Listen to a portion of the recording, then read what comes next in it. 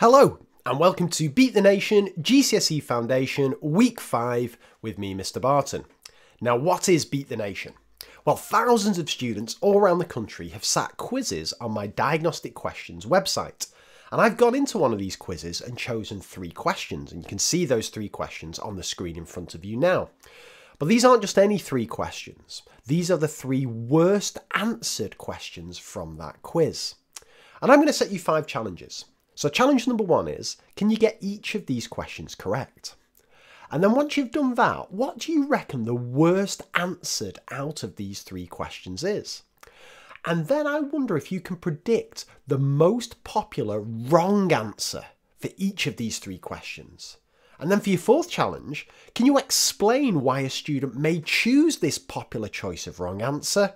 And then finally, and I think this is the hardest of them all, imagine you were sat next to a student who was convinced that that wrong answer was right. How would you convince them that in fact you're right and in a nice way that they're wrong? So what I suggest you do now is you pause this video, you work your way through these three questions with these five challenges in mind, and then when you're ready, unpause it and we'll go through them together. Good luck. Okay, have you got your answers? Nice one. Right, so to build up drama, I'm going to reveal these, but in reverse order. So first up is the least worst answered out of these three questions. And it is this question here. Okay, which of the following diagrams shows a plan view of this object?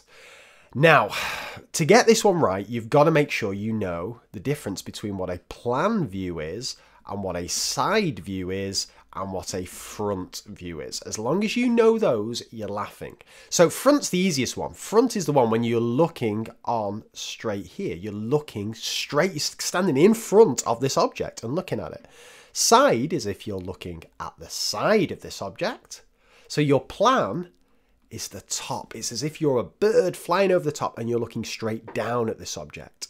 So this is after a plan view. So imagine we were a bird flying over the top of this object. We get straight over the top of it. We look vertically down. Which of these three, uh, which of these diagrams can we see? Well, what we would see is we would see the three squares going across here and we'd also see it coming out one. Can you see how this square here kind of kind of jolts out one from this? So it would be three going across like this. My diagrams are terrible, I'll tell you that much. But then also, we would also see this one square coming out front there. We wouldn't be able to see how high up um, uh, or low down it was, but if we were vertically uh, vert looking vertically down across uh, from from the sky, looking down at this, we'd see it coming out one. So I think C is the answer to this one. Are we right? Well, yes, we are, but look at that. Only 42% of students agree with us. The most popular choice of wrong answer is A. Now, can you see where A would come from? Why might a student think that A was the correct answer to this? Well, if we read um, a couple of explanations here, you get this. The plan will need to be a T-shape with an extra block as it has another block onto it. And if it's looked at from the front, you will not be able to see the extra block. I see what's happened here, you know. This isn't the students not being able to picture things, they're picturing it and describing it really well, but I think both of these explanations are looking at it from the front. And that's what I, as I said at the start, unless you know the difference between what a front is, what a side is, and what a plan view is, you're going to really struggle with these kind of questions. How did you get on with that one? Don't worry if you struggled, as we've seen, thousands of students struggled. So now I'm going to reveal what the second worst answered question is. And it is this one here. Now, this is a tricky one if you rush into it, so let's take our time. Joe and Danny share some chocolate in the ratio 2 to 3. I always like to set things out like this when I see this. Joe and Danny share some chocolate in the ratio 2 to 3. Okay. Danny receives 30 more pieces than Joe. 30 more pieces. That isn't Danny receiving 30 pieces, she gets 30 more. Now, there are quite a few uh, quite a few ways of thinking about this. Um, I know lots of you will be familiar with bar modeling, and this is quite a nice way to represent this. So if we have Joe here, and if we have Danny here, then Joe gets two parts and Danny gets three parts. And what do we know about this? Well, we know that this extra bit here, this bit here that Danny gets, that's worth 30 pieces because Danny gets 30 more than Joe. So how many does Joe get? Well, that gap there is worth 30. So each one of these pieces that Danny gets must be also worth 30, right? You can see that because we know here that Danny gets 30 more than Joe. It's the only combination that makes sense. So when the question says how many does Joe receive, Joe gets two parts, two lots of 30. So I think Joe is going to end up with 60 pieces of chocolate. Are we right? Oh, so which one's that? Sorry, that's D there. Are we right? Let's have a look. We are, but look at that. That's painful, hey? Only 38% of students agree with us with that. Look at A and B, 27% and 22%. Let's focus on A. A is our most popular choice of wrong answer. Why might a student think the answer is 20? Can you see that? Let's have a read of this. If Danny has 30 pieces and it's shared in the ratio 2 to 3, well, Danny doesn't have 30 pieces. Danny gets 30 more pieces. That word there makes all the difference. If you believe Danny has 30 pieces, then Joe's going to get 20 pieces. Simple as that. But of course, that's not the that's not what the question's saying.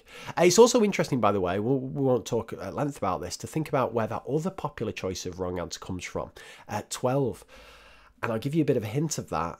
If you were sharing 30 pieces between Danny and Joe, I think that's where this style of answer starts to come from. And that's why it's super important. Your teachers always say this read the question, read the question, read the question. With these ratio questions, it's so, so, so important you do that because that one extra word changes everything about this question.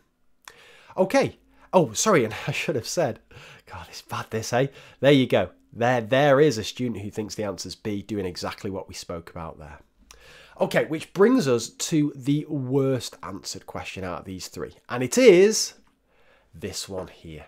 Enlargement. Tricky one, tricky one. Okay. The shape is enlarged by scale factor 2 from the point 1, 4. So from that point there, we are going to enlarge this shape and we're going to do it scale factor 2.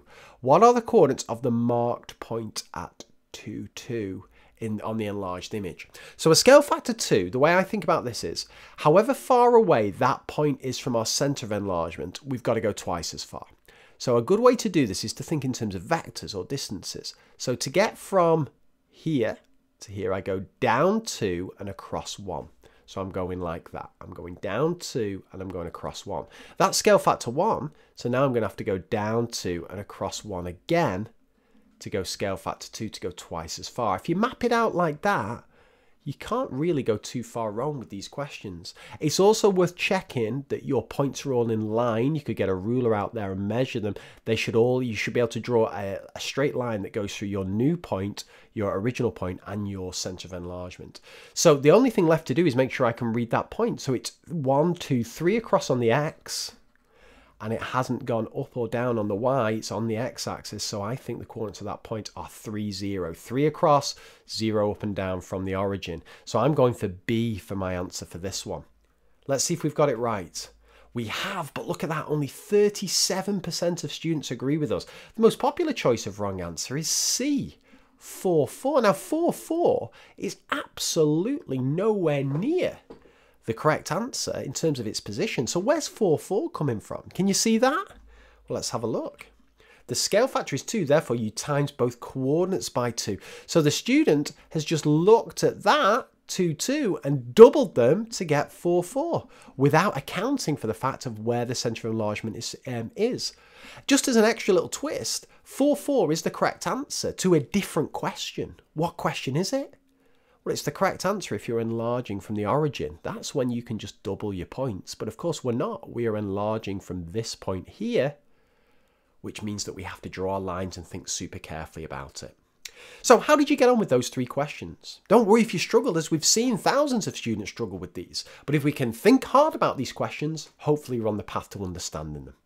Um, if this has whet your appetite for more, then if you head to diagnosticquestions.com forward slash revision 2019, you can try 20 of these quizzes, all completely for free. And if you're a teacher watching this, if you go to eedi.co.uk, you can assign these quizzes to your students so they receive them regularly, they're marked automatically, and so on. It's all completely free. Um, they're the revision schemes of work. And if you want to get your students onto the system so that they can benefit from this and answer on their own devices, easiest way to do it, if you send an email to hello at eedi.co.uk attaching a spreadsheet with your students' names and class codes, one of our team can get your kids uploaded for you. Hope you found that useful, and I'll be back with another Beat the Nation soon. You take care, and bye for now.